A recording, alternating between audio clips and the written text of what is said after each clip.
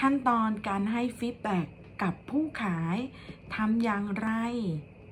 สวัสดีค่ะ สวัสดีค่ะ พี่น้องชาว eBay ทุกคนนะคะ วันนี้นะคะ หลังจากที่เราได้ซื้อสินค้าบน eBay เรียบร้อยแล้วนะคะ เมื่อ EP ที่ 2 เพแนะนำให้กับทุกคนเนี่ย ซื้อสินค้าบน eBay เพื่อสร้าง feedback ก่อนที่เราจะเริ่มขายสินค้าบน eBay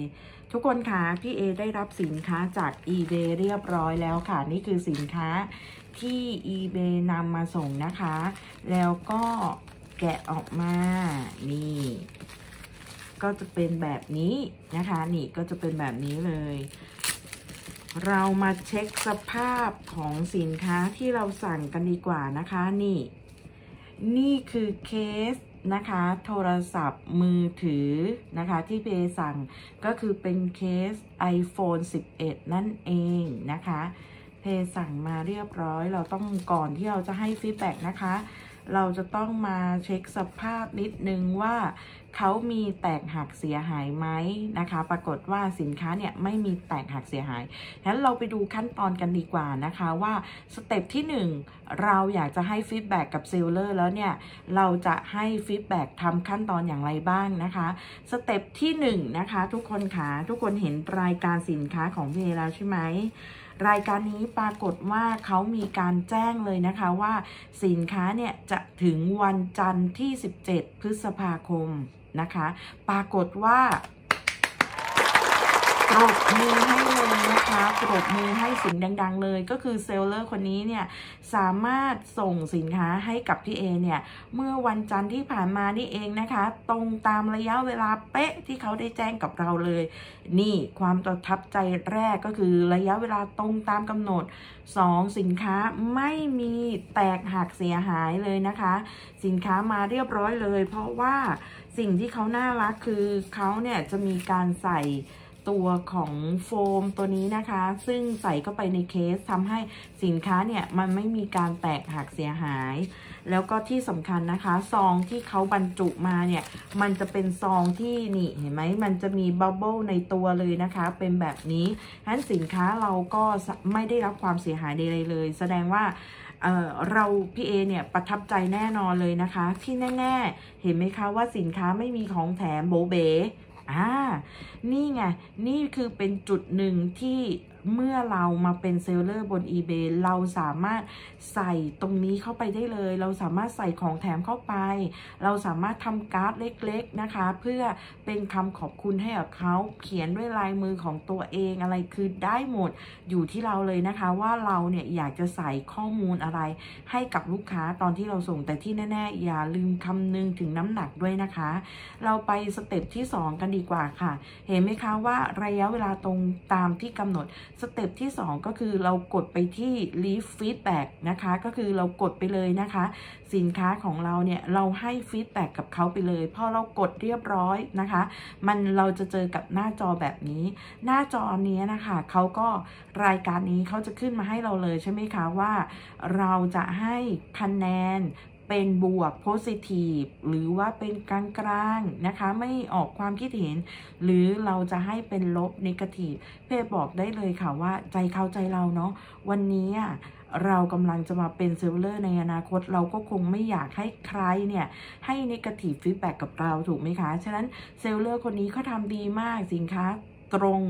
ตามกับที่ออเดอร์ที่เรากำหนดเลยไม่มีแตกหักเสียหายตรงระยะเวลาที่กำหนด ฉะนั้นพี่เอก็เลยกด positive feedback ให้กับเขา หลังจากนั้นเนี่ยเราประทับใจเขาอย่างไรเราสามารถพิมพ์ข้อมูลเพิ่มเติมในส่วนตรงนี้ได้เลยนะคะว่าเราเนี่ยต้องการอย่างไรนะคะ ต้องการคืออยากจะชมเขายังไงบ้างเราก็พิมพ์ไปได้เลยนะคะ เต็มที่หลังจากนั้นเนี่ยเราจะมาให้ดาวกันนะคะว่า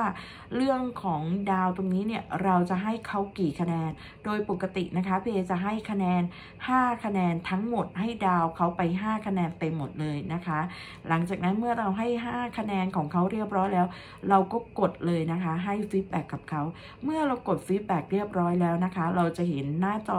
ต่อไปนะคะ eBay จะมีการถามกับเราทันทีเลยนะคะว่าเนี่ยเราต้องการ follow นะคะหรือเรา save ต้องการ save seller คนนี้อีกไหมนะคะ ต้องการ save seller คนนี้เพื่อกลับมาซื้อเขาอีกไหม หรืออีกแบบหนึ่งนะคะก็คือไม่ต้องการ save นะคะ นี่ขึ้นอยู่กับเราเลย เพ่อยากจะเสริมตรงนี้นิดนึงค่ะว่า โดยปกตินะคะ seller คนนี้สำหรับมุมมองพี่เอนะ ก็คือว่าเป็น seller ที่ดีมากๆ ก็คือว่าเวลาเราซื้อสินค้ากับเขาอะค่ะ เขาก็ให้ feedback เราทันที หลังจากนั้นไม่อีกไม่ถึงหนึ่งวันนะคะ เขาก็ ship ก็คือทำการส่งสินค้าให้นะคะ และระยะเวลาที่กำหนดในการส่งเขาก็มาตรงเลยดังนั้นเวลาเราอยากจะกลับไปซื้อกับเขา เราจะรู้กระบวนการขั้นตอนแล้วว่า seller คนนี้เนี่ยเป็น seller ที่ได้รับมาตรฐาน การบริการที่ดี เขาไม่หวง feedback เลย เราซื้อแล้วเขาให้ feedback ฉะนั้นถ้าเรา save ไว้สิ่งที่เบย์อยากเพิ่มเติมให้กับทุกคนนะคะ นั่นก็คือว่าเวลาเราซื้อสินค้าสมมุติเราชอบ seller คนนี้นะ เราดันซื้อสินค้าเนี่ยทีเดียวเลย 3 รายการผลปรากฏว่า seller คนนี้จะให้ feedback กับเรา 3 feedback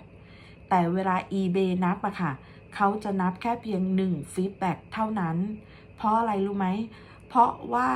มันเป็นการ 1 ต่อ 1 1 seller ต่อ1 buyer เราจะซื้อสินค้า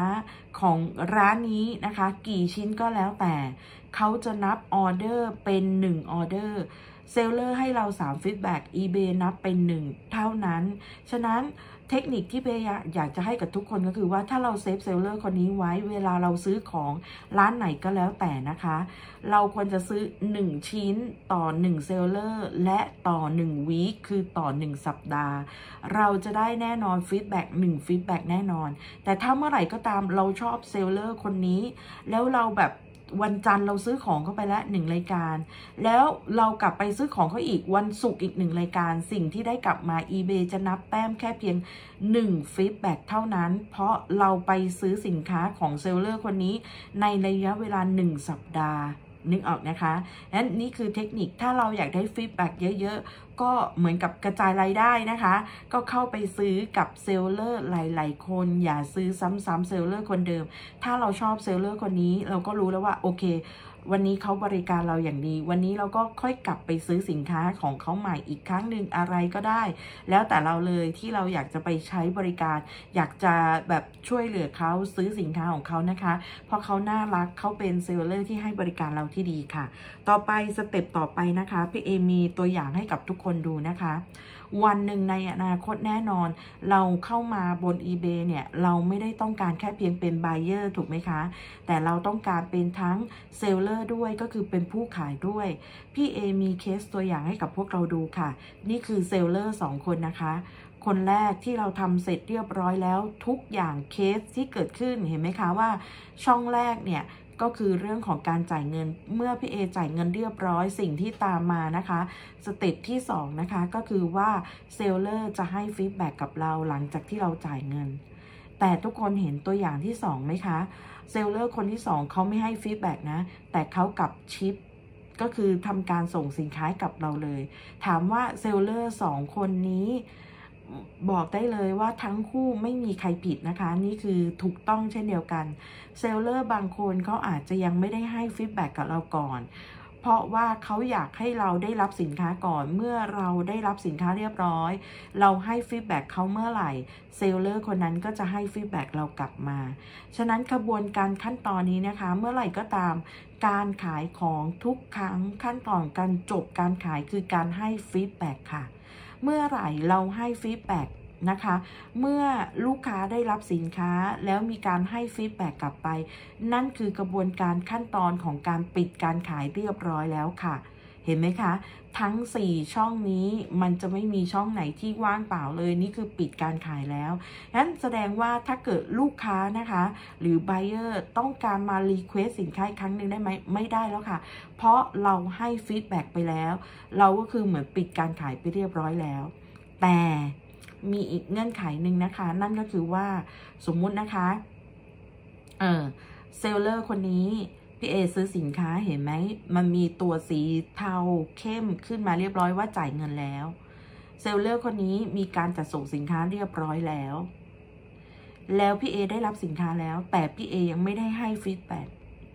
ระยะเวลารอคอยของเคส สินค้าทุกเคส มันจะ due อยู่ที่ 30 วันหลังจากที่เราได้รับสินค้า หรือหลังจากที่เขา ship ก็ได้นะคะ นับแบบนั้นก็ได้ ผลปรากฏว่าพอผ่านมา 30 วันแล้วนะคะ หลังจากที่เอได้รับสินค้าเนาะ30 วันพี่เอก็ยังไม่ได้ให้ feedback กับ sellerผลที่มันตามกลับกันคืออะไรรู้ไหมคะ รายการสินค้านี้ก็คือจะจบอัตโนมัติ หลังจากนี้คุณ request ไม่ได้แล้วนะ นี่คือการปิดการขายไปเรียบร้อยแล้ว แต่คุณรู้ไหมคะว่า ในระหว่าง 30 วัน สมมุติถ้าในมุมที่เราเป็นผู้ขายหรือ seller เขาไม่ให้ feedback เราเลย แต่เขาได้รับสินค้าแล้ว นั่นหมายความว่ามันจะมีบางครั้งก่อนที่มันจะจบรายการ DN ใน 30 วันเขาอาจจะมา request ขอ refund ขอคืนเงินกับเราได้ ถ้าสินค้าชิ้นนั้นที่เขาลองใช้แล้วแล้วมันไม่ได้ผล เช่น พี่เอยกตัวอย่างนะ ในอดีตนะคะ พี่เอเคยขายสบู่นะคะ สบู่แล้วปรากฏสบู่ชนิดนี้เนี่ย มันเป็นสบู่ที่มีคุณสมบัติที่ช่วยให้ขาวใส ขาวใสนะ ปรากฏว่า 30 วันโดยปกติทุกเคสค่ะ พอเขาได้รับสินค้าแล้วเขาก็จะให้ feedback เราทันที ปรากฏว่า buyer คนนี้ลูกค้าคนนี้นะคะ ซื้อสินค้าจากพี่เอเนี่ย มันก็จะใกล้ 30 วันแล้วพี่เอจำได้วันนั้นประมาณวันที่ 28 เขา request แจ้งกับทาง eBay มาเลยว่าเขาขอคืนเงิน เพราะว่าหลังจากที่เขาใช้สบู่ก้อนนี้แล้วเขาไม่ขาวขึ้นเลย สิ่งที่เกิดขึ้นก็คือว่า eBay ก็ทำการหักเงินใน PayPal ของเมย์แล้วทำการรีฟัน อัตโนมัติให้กับลูกค้าค่ะ ว้าว มีอย่างนี้ด้วยนะคะพี่เอเจอมาแล้วฉะนั้นคำถามคือบางครั้งอะค่ะเราอย่านิ่งนอนใจว่าเมื่อไหร่ก็ตามที่เราเราขายสินค้าไปแล้ว เราทำการส่งสินค้าไปแล้ว นั่นคือการปิดการขายหรือจบการขายไม่ใช่ค่ะ การจบการขายใน eBay บน eBay คือการให้ feedback เมื่อไหร่ที่ลูกค้าให้ feedback กับเรา นั่นคือเป็นการจบการขายจริง ๆ แต่ถ้ายังไม่ได้ให้ feedback กับเรานะคะ เรายังนอนไม่หลับเลยค่ะ ทุกคนบอกให้เลย เพราะว่าเราไม่รู้จริงๆว่าลูกค้าคนนี้เขาจะมาไม้ไหน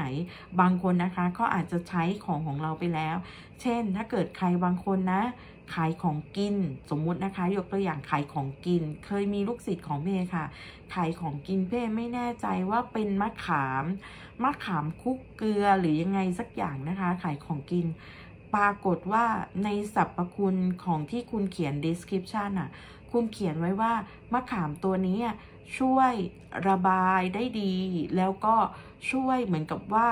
กินแล้วมันชุ่มคอ กินแล้วมันหายง่วงนอน เวลาคือกินแล้วช่วงเบรกแบบคอฟฟี่เบรกได้อะไรประมาณนี้นะคะ นี่คือเคสของลูกศิษย์เอง ปรากฏว่าผ่านไปลูกค้าได้รับสินค้าแล้วแหละ แต่ปรากฏว่า เขาเนี่ยพอใกล้ๆจะครบวันดิว 30 วันแล้วเนี่ยเขา request มาเลยขอคืนเงิน เพราะว่าเขาได้กินได้ชิมไปแล้วหนึ่งอาทิตย์พี่เอมั่นใจว่าหมดแน่นอนนะคะ ชิมไปแล้วประมาณหนึ่งอาทิตย์แล้วเขาก็บอกว่าไม่เห็นมันจะเปรี้ยวเลย ไม่เห็นมันจะช่วยแบบ เบรกอะไร coffee break อะไรเขาได้เลย แต่เขารู้สึกว่าช่วงบ่ายๆเขายังง่วงเหมือนเดิมเลย เขาต้องกินกาแฟอะไรอย่างเงี้ยแสดงว่ามะขามคลุกเกลือของคุณเนี่ย มันไม่ได้มีประสิทธิภาพทุกคนนึกออกไหมบางครั้งเนี่ยเพต้องบอกก่อนว่าฟีดแบ็กเนี่ยมันมีความสำคัญมาก ๆ ฉะนั้นการที่เพเน้นย้ำกับทุกคนว่า การที่เราจะต้องซื้อสินค้านะคะ มันจะช่วยเสริมทับเวลาในกรณีที่ ลูกค้าคนไหนหัวหมอ แล้วเขาเกิดให้ negative feedback กับเรา เวลาเรามี feedback เยอะๆ มันจะมาช่วยเรานะคะ เป็นแรงเสริมทัพให้กับเราที่เราจะไม่ตกจากมาตรฐานของ eBay นั่นเอง